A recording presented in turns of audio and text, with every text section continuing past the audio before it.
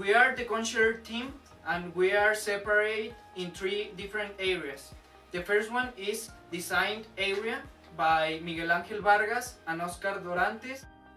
The second one is automatization area by Daniel Galindo and Tomas Luna. And the last one is manufacturing area by Raúl Gutierrez and Lázaro Candia. An important agricultural sector in the industry is to make many machines to improve and reduce the process. Yes, for example, in the Technic Pacific, choose across the use tractor which facilitate the plowing of the lands. And the machines that are used for the shelling of corn, beans and different grains. We can concentrate in a specific area that is corn sheller. We will show you the different processes that we had to do to achieve make the best corn sheller machine.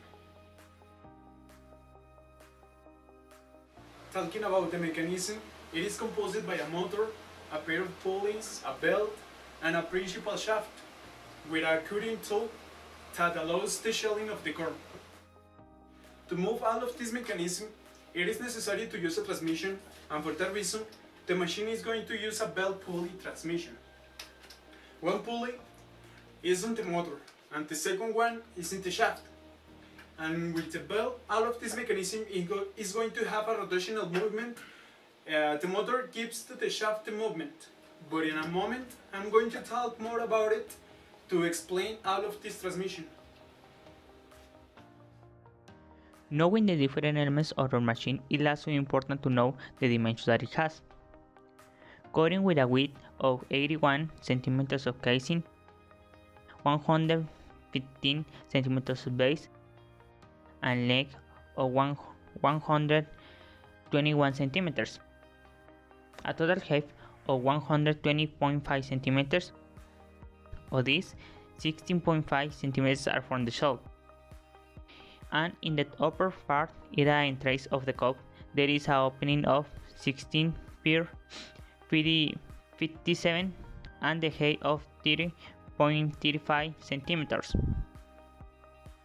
As is possible see, this is a machine with a comfort, comfort dimensions, avoid the efforts for excessive height or behind small.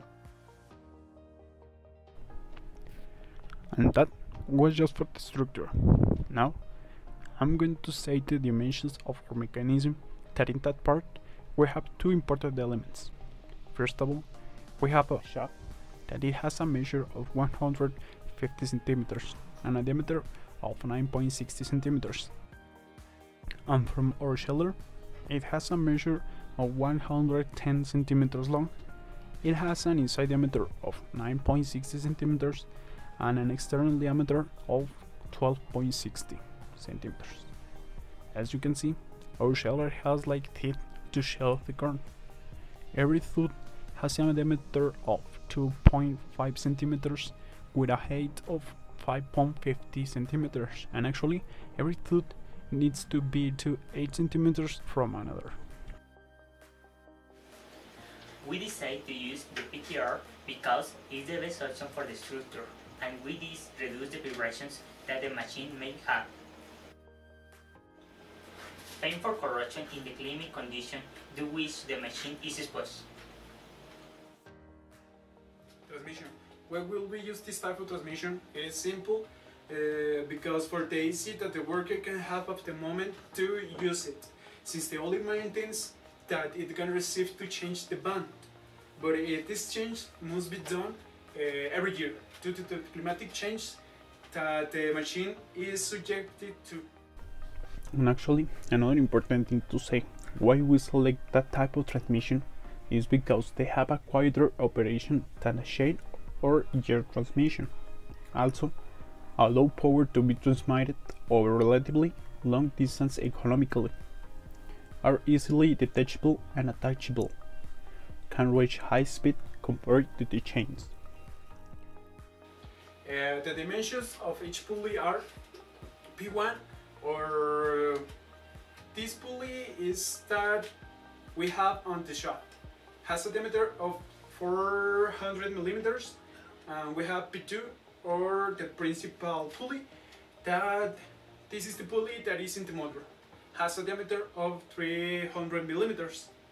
Uh, this must be, be taken into account because with this we can modify the torque or revolutions per minute that the motor delivered to the exit that is the shaft. Uh, the shaft is who is going to do the work to the shell uh, the car. You can see the calculations to determine the RPM that is equal to revolutions per minute and the torque uh, that the mechanism is going to have for the transmission that it has. The mechanism has a decrease of RPM it's just because we use one pulley that is in the motor less than the other. But actually, with that the transmission has an increase in the torque. Uh, we know this because it's how the transmission works. If the RPM decrease, the torque uh, always is going to increase. And if the RPM increase, the torque is going to decrease. Belt. And to select the belt, we did calculations to find the best belt because at the moment that the machine works with high velocity, the belt that is who is going to transmit the movement it needs to be resistant to the machine. It could be dangerous if the belt is not adequate. Here you can see a table with the type of the belt that is necessary. Depends to the motor because we need to take in account the RPM and HP. This is the revolutions per minute and the horsepower. This our motor give us that information we have uh, 1750 rpm and 2 hp that is hor horsepower. And with that we see in the table that the belt that is necessary is a belt 3b but that is not all. We need to find also the sheave pitch diameter. With this also we can find the diameter of the belt we need to take in account that the belt speed must be between 4000 and 5000 fpm that is feet per minute and doing some calculations we can see that the velocity of the belt is between 4000 and 5000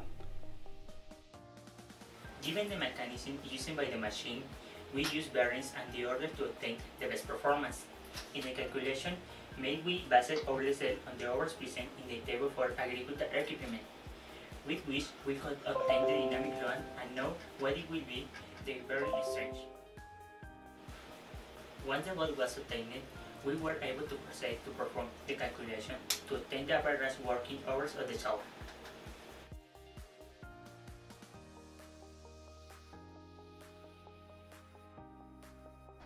Our chart shows an acceptable tension without over effort.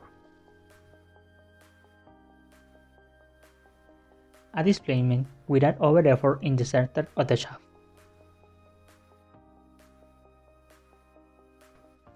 The shaft doesn't suffer overheating. This prevents the deformation.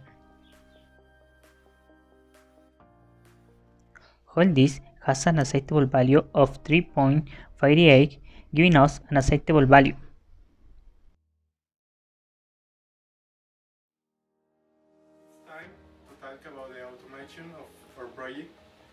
We will start with the central element and I'm talking about the Arduino. Arduino is an element created for automation and development projects. It has a great community for its use as well as it is of use. We will use the Arduino Nano, which is one of the most compact of its family without losing and any others. The Arduino Nano has a control input and output for our project. The Arduino will have the utility of controlling the motor, but not directly. For that, we will use a relay that will be activated by the Arduino and will function as a switch. Then that pulse that will generate the relay will be sent to a contact that will have enough capacity to support the energy peaks created by the motor when it starts. Contactor build button are usually used to activate or deactivate, but in this case Arduino is used because we will also use another security system that I will show below. Our machine will have a security system where the corn is inserted. It will have a door with an infrared sensor. The sensor that is to detect the distance by what it will detect when it is closed or open. When Arduino detects that the door is open, it will deactivate control button sudden. This is to avoid possible accidents. On the table, we can see the different gauges. We choose the one that is marked because to fit the Arduino sensors and buttons is enough. We choose the 7.7 gauges because this one for the amperes that the motor needs to work. When the motor is connected to 127 volts, managed 24 amperes, so the cable that we choose is enough. Our Arduino Nano consumes around 0.105 watts. The consume is constant. It's also with the LED and the motor. The time daily use is around 6 hours per day. And this is the monthly consume. Steps. Step 1. Introduce the corn. Step 2. Wait for the machine to work for about 10 minutes. Step 3. The machine will have two outputs. One will be the shell corn and the other will be the cup.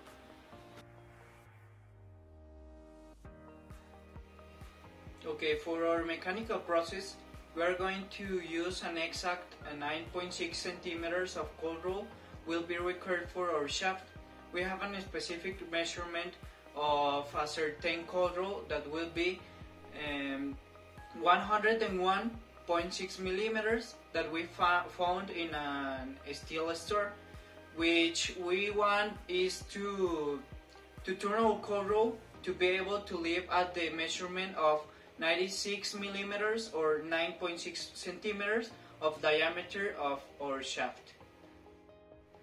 And using uh, a turning process, we are going to grind the principal piece uh, to have our specific measurement.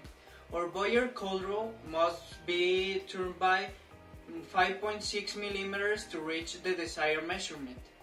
And using an industrial brusher, uh, which has a function of roughing the base of the of the wedge in the in the shaft. The cutting tool that is used to to as a as a as a brain, the same type of cutter that we can find in a, in a lathe.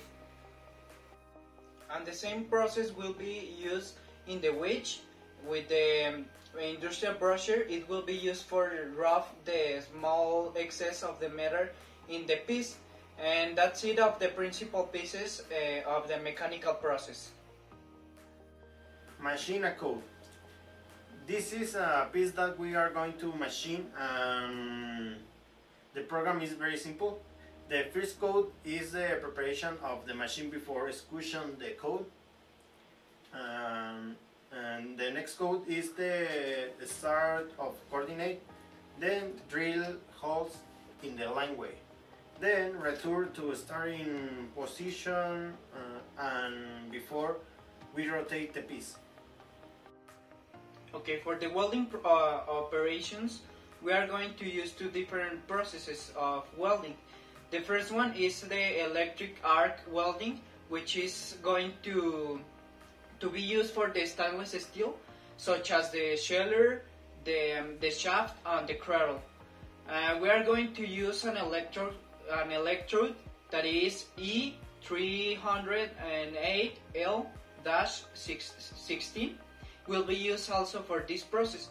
And the second one is the is the microwave welding which is going to be used for the stainless steel such as the base, the protection of the transmission, the corn exit chute and the mash. Assemble for the assembly, it's uh, important to have what is the reinforced structure because the interior assembly, which is the sheller, has a specific order. We must have a part of the removed structure. The second step is uh, install the bearing and a link Uh, the next step is place the shaft with the winding holding the sheller is only has in insurance. The next is uh, to this we, we what a great separation is the will be welded by electric arc. Mount the base where the grain will come out. Uh, resable the remove the structure. Okay, the operation with other materials. The use of other materials uh, only comes down with some protection of the equipment, which are plastics. The first one is the, thermo- the thermofit, which will be to protect the the the whole together equi- the equipment cables, and the second one being the the bolts, which are the only only function to holding the cables fixed in a specific place. Uh, and both protections withstand high temperatures and high voltages, uh, s- supporting 70 degrees Celsius and up to 600 volts. The Detailed a painting. Uh, the first step is the applique base painting for high performance. It has uh, the function of alloying and is the application of the paint signs increasing its uh, decision on the surface. The next step is the basic paint. Here we use two types of materials, solvent base and water. The solvent base is um, like a paint. The more so, uh, the more solvent is better, but it's also toxic. So we use water for dissolving it. Finally, is varnish. This layer must be strong and enjoying to resisting abrasion, but interchemical stable to withstand ultraviolet and rays. Cleaning and cutting materials. We use two type material as clean material and cutting material. The clean material is water brush, uh, polish machine in some paper. We will use to clean the surface. And cutting material is drill, uh, cutting machine, uh, rolling stone. We will use uh, rolling and we have uh, very very piece.